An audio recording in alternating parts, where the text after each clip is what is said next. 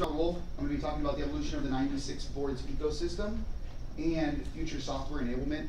Uh, who's here familiar with the 96 boards brand name? Yeah. All right, cool. Good to know. Uh, yeah, so we're going to talk just a little bit about that. I'm going to offer some resources, some URLs if anyone wants to read more about that. But uh, 96 boards ecosystem. Here we go. Me. My name is Robert Wolff. Like I just said, I'm an engineer, community manager for 96 boards, which is a part of Linaro. And for those of you who aren't, aren't, aren't you know, familiar with Linaro, there will be a slide here with some links as well. You can also just search Linaro, go to linaro.org. There's some more kind of just personal information about myself, University in San Diego. I flew all the way here to talk to you all for 25 minutes. So, from San Diego, please, I want this to be very informal. If anyone has questions, you want to interrupt me, please do so. Uh, you know, this is hopefully a conversation. And then when I leave, which is tomorrow, you can always reach me on Twitter, Instagram, IRC. Those are the three channels that I'm usually in. I'm also in the Fedora Flock channel, Fedora IoT channel. I'm in several other Fedora channels. Fedora ARM channel. Fedora ARM channel. Yeah, I'm in a bunch of Fedora channels as well. And then my GitHub is right there as well, along with my email. So today's topics. I'm going to talk just a little bit about Linaro, a little bit about 96 boards. I'm going to talk about the community, because I'm the community manager for 96 boards.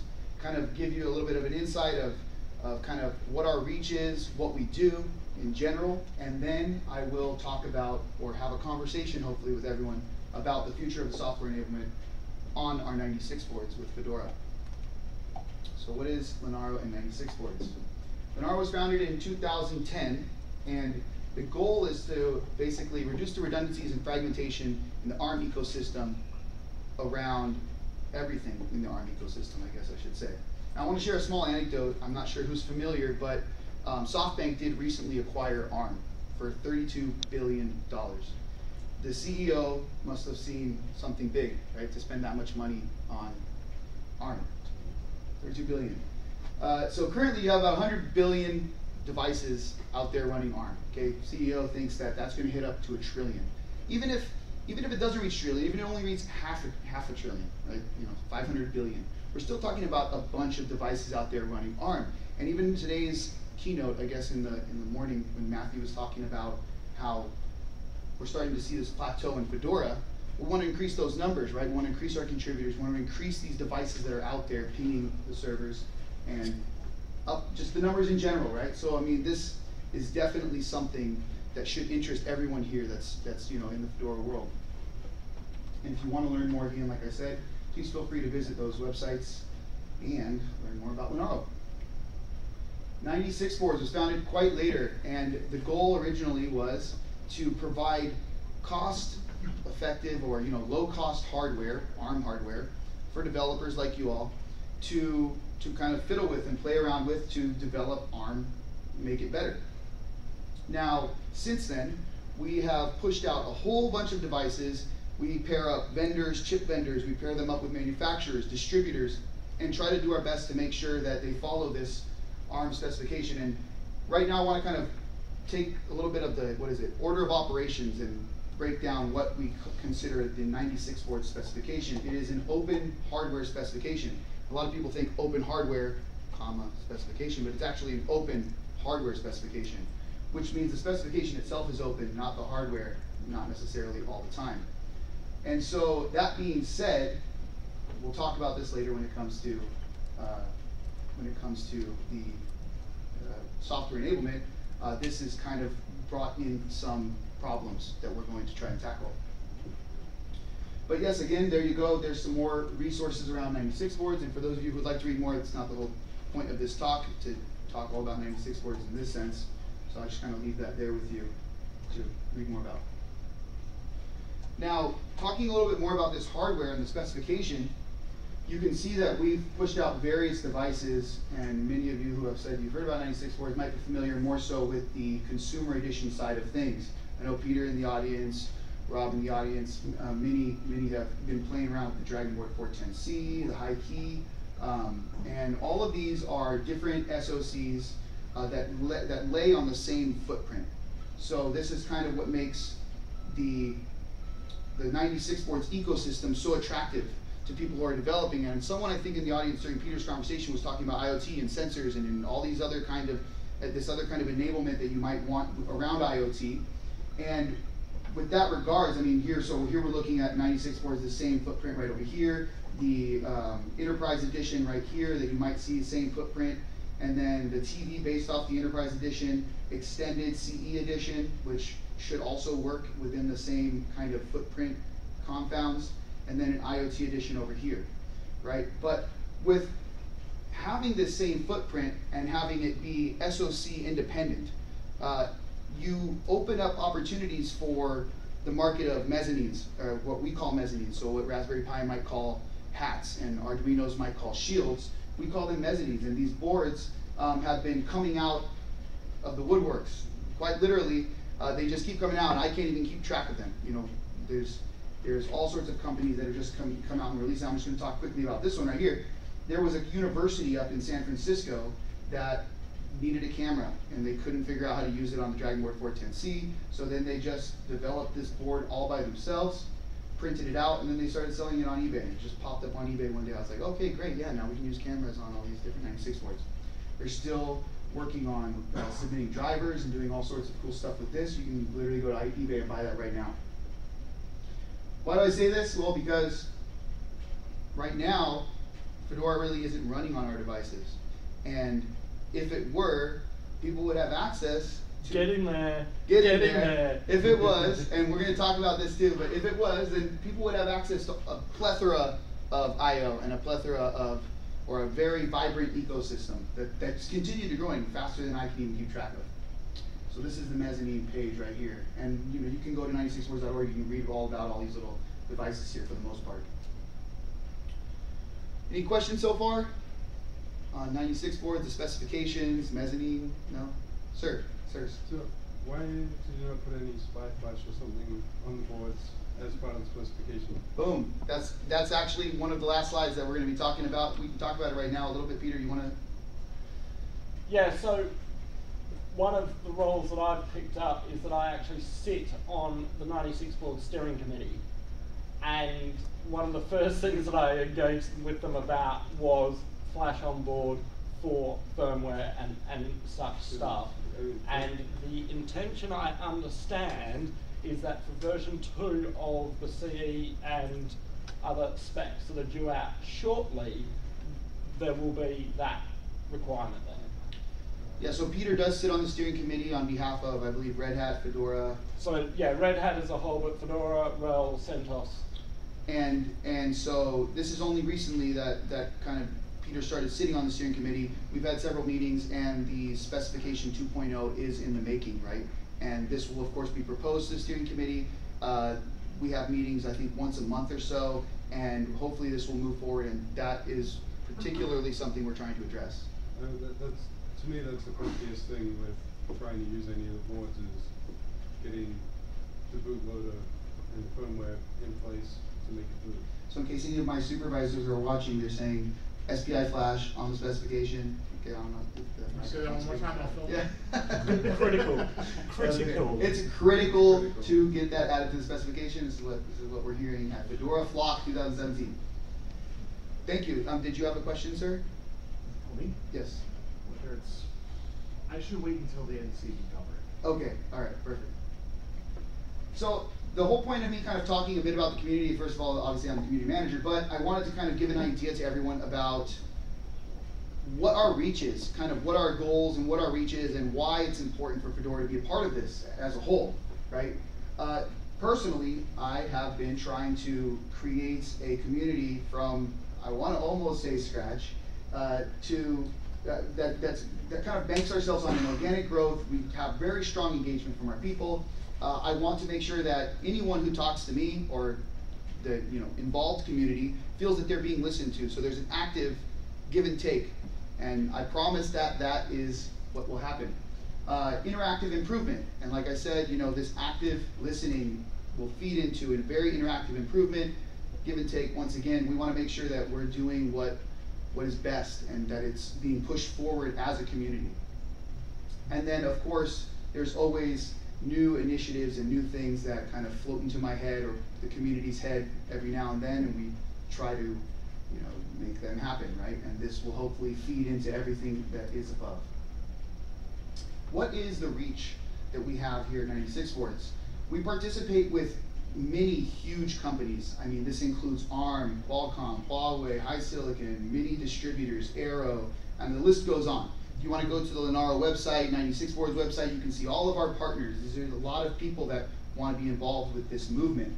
And with that comes a lot of visibility. We participate in hackathons. Uh, uh, we just recently got uh, accepted with Qualcomm into the Major League Hackathons, which is a global initiative uh, where 96 boards will be present at every single one of these hackathons. Uh, they will have access to all the operating systems that come with these 96 boards, and people, kids, students, all walks of life will be working on these boards. Lots of visibility worldwide. Academics, I personally work with several universities in the United States, in Brazil, in Mexico, hopefully soon to be China and India, and these are all professors, faculty uh, that want to get 96 boards into the university classrooms. This is a really big deal, and uh, we are trying to move forward with this quickly and, also efficiently. Conferences and workshops, you know, right here. This is an example of uh, being at a conference, hopefully spreading the 96 boards word, creating evangelists and having fun together, workshops. Um, I've given several workshops, other people give lots of good workshops. And uh, yeah, it's another good reason. But yeah, then the list goes on, right? Linaro Connect, for those of you who aren't familiar with Linaro Connect, I think it's connect.linaro.org. Mike? You can search for that. Um, it's a conference that we do twice a year. Uh, you get leading industry professionals in this world uh, from all over the world that show up in one place, similar to Fedora Flock actually. And uh, it's all about collaboration and and talking business and talking community. And so that's a lot of fun. It happens twice a year. This time it's going to be in San Francisco next month. For those of you who are interested, social media, and then again, initiatives. So for those of you who feel like following, you can go search 96 Boards all over the place. What are some of the initiatives that I have been working on personally right now? Again, this is just to kind of build up the reach, but open hours, for those of you who aren't familiar with open hours, I host a live podcast. It's a video stream that happens every week at Thursday, on Thursday at 4 p.m. Peter was actually just on there. I have a picture of Peter smiling on the show. You're gonna get to see this. But but yeah, so open hours is an awesome initiative. If you ever have any questions, you want to just come and you know talk, vent, uh, get involved in the community in any way, you can join this call. It's 96boards.org forward slash open hours, and that happens every Thursday. It'll happen this Thursday. Thursdays at noon here. Noon East Coast. Yes, 4 p.m. UTC. That's unchanging. Uh, projects and projects pages, websites, documentation. Uh, our whole website now is back rendered from GitHub. So our website, our documentation, everything, this is community driven. If you want to change something on our website, submit it. Gatekeeper will review it and maybe you know our website gets changed. But everything is interactive now. This is just an example of one of the open hours episodes here. This is a Brazilian partnership that we got involved in. These are all folks from Brazil. They went into a hackathon. It was an internet or a national hackathon in Brazil. They all won. They flew up to San Diego. We took over the Qualcomm Thinkabit lab, and uh, we all did a, a nice show there. It was a lot of fun. Um, all these folks are from different companies all around Brazil. They all made really cool projects, and they will all be visible uh, through Qualcomm and 96 Boards. Here's another show we did with Monero and Kovri. Uh, if you're not familiar with the cryptocurrency Monero, uh, it's rumored that, and I'm, I'm, not saying that this really happened, but um, the, the day after this show, their, their whole value of Monero went up like 300%. It was crazy. I'm not kidding. I, I, have talked to the lead devs, which is Ricardo, um, HYC, Justin, he's also involved there. Um, you know, they, I don't know if they're going to say it was because of the show, but um, I did notice that. It was pretty cool. And then here's Peter. Happy Peter. Um, he was talking about Fedora, and of course, um, as he mentioned, soon we hope to have Fedora running on our 96 boards, right? And uh, it is mostly there. In fact, it runs on the HiKey. Um, it's being polished. To come to my talk tomorrow, and you'll hear more about it. Boom, there you go. Peter, stop. Some of the projects that people are getting involved in, these are all community-driven projects. None of these were done by people at 96 boards. As far as I know, none of them, no one was paid to do these. These are just projects that are surfacing people that are getting involved in this ecosystem. Now the big talk, software enablement. So this is where kind of I'm done, right? This is more of a discussion. I want to talk about two things. First is early access hardware. This is kind of the easy part, right? So I'm dealing with all of these companies, like I said, the chip makers that put their chips on the, the boards, they get with the manufacturers, and they get with the distributors, and they all send these boards out, I've kind of come across a lot of problems here because either the boards sell out too quickly, in which case the people who are supposed to have these boards don't get their hands on them in time, or they just, uh, or, yeah, that's actually pretty much it. They just sell it too quickly, or they don't make enough. Yeah. So early access hardware is what I'm trying to work with our distributors with. Uh, they're going to create pockets of boards, and so that way I can talk with Peter, uh, who's kind of representing you all here. Uh, if you need a board, if you feel like contributing, if you feel like being a part of this, then please contact Peter. Peter can reach out to me, and we will get this hardware in your hands as quickly as possible. Okay with you, Peter? Yep. Awesome. And then the next is standards and compliance. What 96 Boards does, for you to use the 96 Boards name, is your board goes through a series of compliance checks. Now, in the past, it's possible that certain compliance has been slightly lenient. Uh, we plan on adjusting these standards and being more strict on compliance. This will, of course, help anyone who's in the process of enabling software, anyone who wants to be in this ecosystem and work on this type of stuff uh, to, to you know, do it easier, do it better, and that's the whole idea. Now, with regards to the standards, this is kind of what I'm calling the specification. What are the standards that we need to enforce? And that is the specification. Peter, who sits on the on the steering committee, uh, along with many others who are involved uh, in in software enablement as well. I won't name any other companies, but they also, I'm sure, would love this to happen. And so, uh, you know, let's talk about getting the SPI flash on there. Let's talk about, you know, getting the, the members or the partners that are releasing these chips to get to, to focus more on UEFI, to focus on U-boot. Let's get these, let's get everything more unified, right? And that's kind of the goal. And so that's that's kind of all I have here. Um, we're hoping that this will start to show uh, uh, movement really soon, uh, within the next few months, within the next six months. Like, we're going to have some big meetings next month in Connect uh, in San Francisco, so I'm sure that we'll start seeing a lot of this move forward. And that's it. So in, in the standards, is there any requirements that the vendors upstream support for their code? In the kernel, in U-boot, wherever? And So- make that available, you know, is it there? So the question is, is there any is there anything that forces the vendors to submit upstream to? So yes, I want to say yes and no. Um, So there's two components to that because the standard itself is actually a hardware standard, so it doesn't actually cover the software side of it at all. yeah. So the, while while I would say yes and no is is only because they don't want to release a crappy board, right? No one wants to release something that no one's going to use. At, at which point, Linaro and 96 boards offer a big amount of guidance, right? And then we also offer various levels of support. So for vendors or members, partners who are interested in getting involved in this upstream process, which in my opinion has a very high learning curve and also requires certain reputation to get involved, um, you can actually work with Linaro and do and, and get involved in that. However, yes, it's not as enforced as I think I would like it to be. So this is also one of the things that I've also been leading as part of the steering committee. Um, it's certainly not just me, but it, like if you look at the original Hikey, when it was released, there was no source code for it upstream. If you look at the Hikey 960, it's pretty much all upstream already. Um, and it's only sort of just been out a little while. So the 96 boards guys certainly weren't that good to start with, but you know, it's been a learning curve for them as well.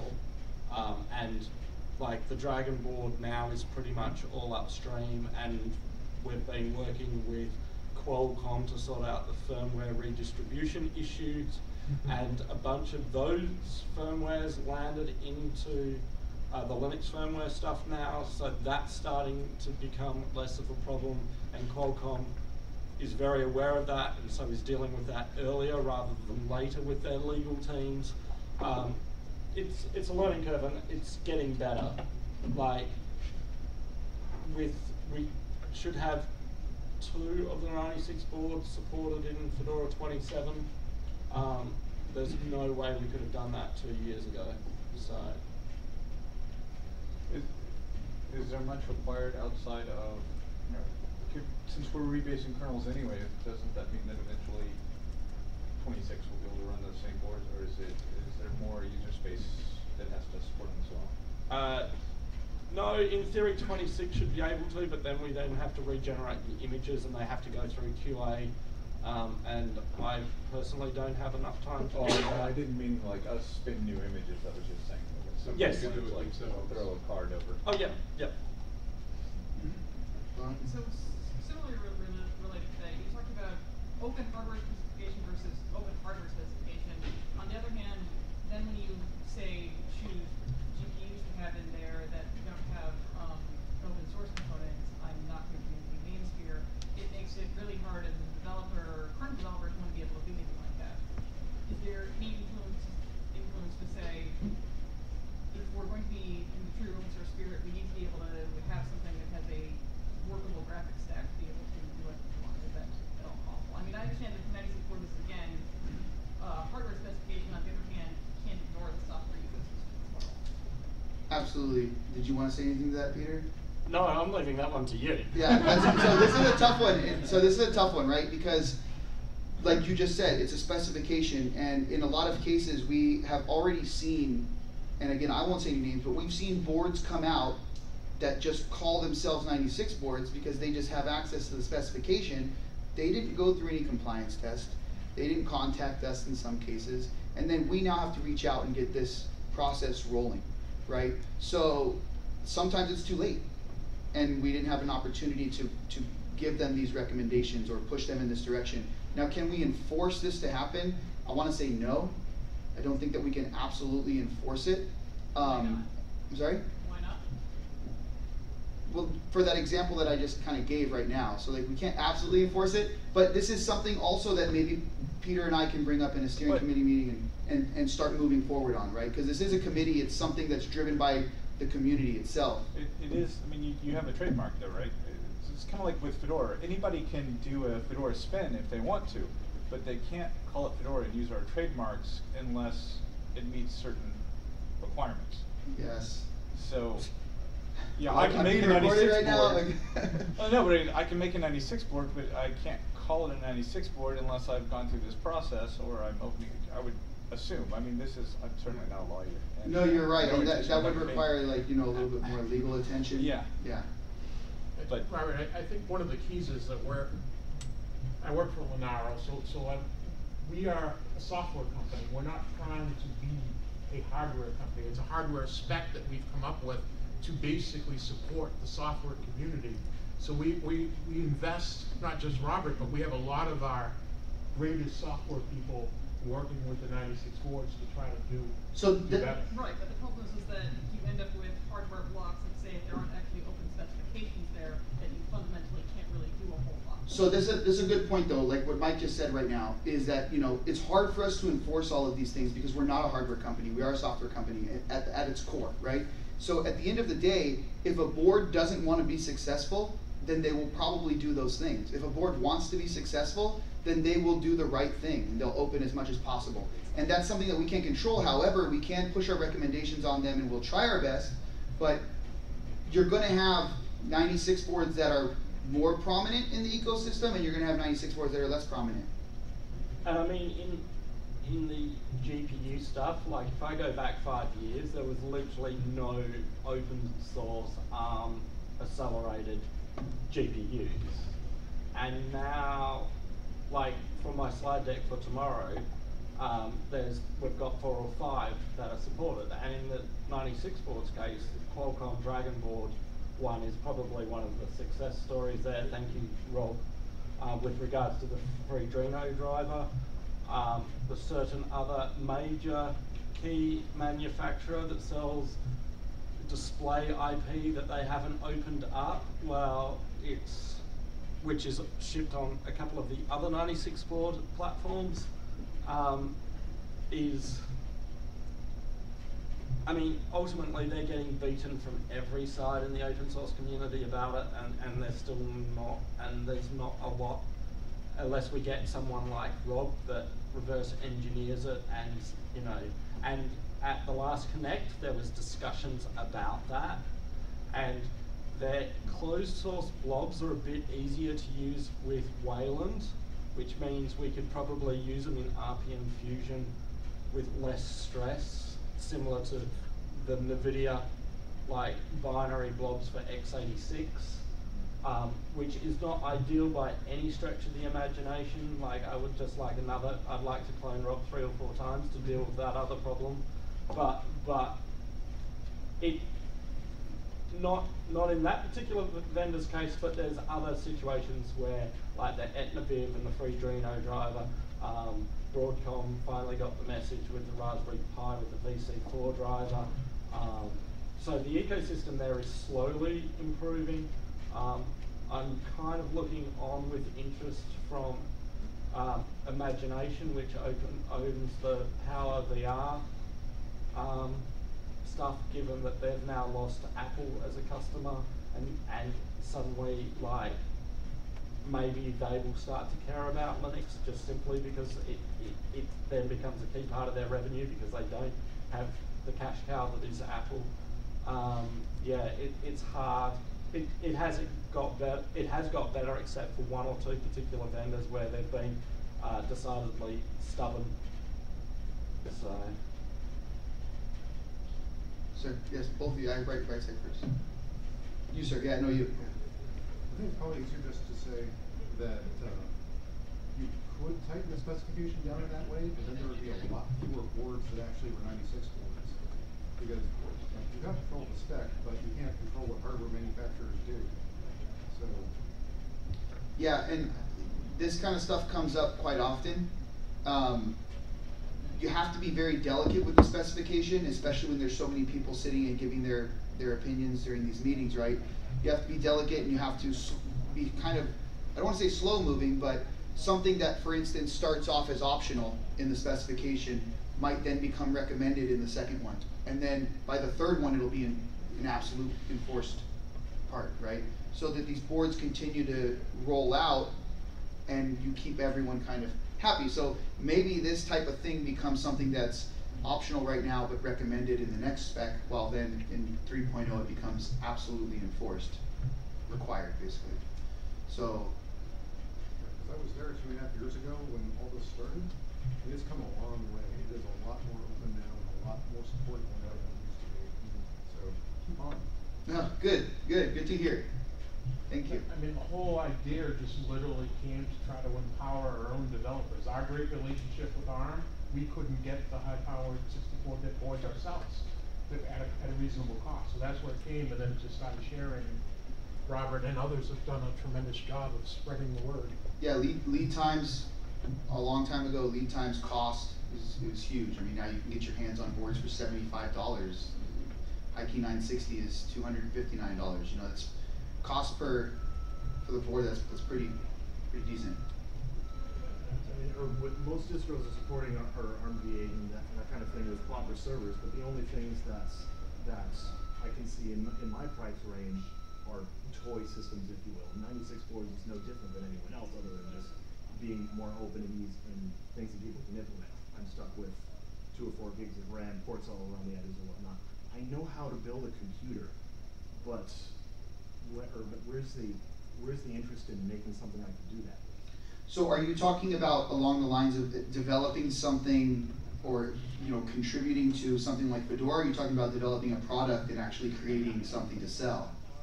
Well, if, so if I wanna, if I wanna help, uh, or help Arch, or Arch sixty-four or those kinds of things along, I'm stuck with, I'm stuck with low power, really tiny, or tiny systems, and even, or even ninety-six, or ninety-six, uh, EE thing is a cu- or is a custom form factor, is a small system and, and whatnot, it's not s- something bigger like, the- or like the PC I use in AMD sixty-four. My, micro ATX. board, Yeah. So you're talking about getting something more powerful, kind of like a laptop machine, something that you can develop on I, that's, I want an equivalent to my workstation. yes, okay, so, So, So where's the interest in that, I guess? so Linus Very Torvalds at two connects ago said basically exactly the same thing. That he basically wants a NUC style device that he can compile a kernel on at full speed. right. Um, we're probably a third generation ARM v8 actual silicon at the moment. And so speeds are going up, prices are coming down. Um, I don't know about unreleased products, but looking at some of the SoCs that are coming down the line, um, I suspect you'll start to see that in the coming months. I'm, I'm more thinking, I, I would like something I can put in a stand, or in a standard PC Yeah, case or like- I want to Yeah. ram it. Yeah, mini ATX, micro ATX, that sort of thing. Um, and, and like the 96 board EE has a micro ATX, mini ATX option as part of the spec. Is anyone actually building those? Uh, not that I've seen released. Yeah, so, so yeah, so all I can say with regards to that is stay tuned. Uh, I'm, I'm, you know, like Peter said, you might see something in the next few months. It's, it's, uh, it is definitely of high interest. So, you know, Like I've heard watched. rumours, I've, I've not seen any product announcements yet. Um, but, you know, the chips are becoming more widely available. I mean, they've been talking about SBSA compliant servers that are of high spec for, uh, well, Mr. Masters has been talking about it for five years and real, and you, you can now finally like buy decent spec servers that are doing that. Um, you know, I've been wanting them for Fedora infrastructure for five years, and, and you know they're finally starting to get there. So the servers are there now, and then you know ultimately the prices will start to come down, and you know you'll start to see more competition on the market and stuff like that. So I'm sure, and given that Linus has said like if ARM wants to be successful, um, they need to start producing devices like this. The Windows 10 laptop, which is a Qualcomm 835, is a really, really nice SoC. And I know it runs UEFI out of the box, but if it's anything like the last Microsoft attempt at ARM, they use Secure Boot to lock it down to only boot Microsoft OSs. I've been poking around trying to get an answer to see whether that would be the case this time as well. I've not managed to get an answer from anyone yet, but you know, there's like so the Qualcomm 835 with UEFI would be an awesome 96 board. Hint, hint, nudge, nudge. um, because you know that that is like you know equivalent of current gen Intel spec with really nice graphics and you know functionality and USB-C and all of that sort of stuff that you would want in a modern day laptop. Um, in theory, at a reasonable price, um, it's whether like those vendors will do you know non-completely locked down Microsoft editions of them. Thanks, guys. Yeah, no, folks, thank you very much. It was a pleasure. Uh, you know, my information, my,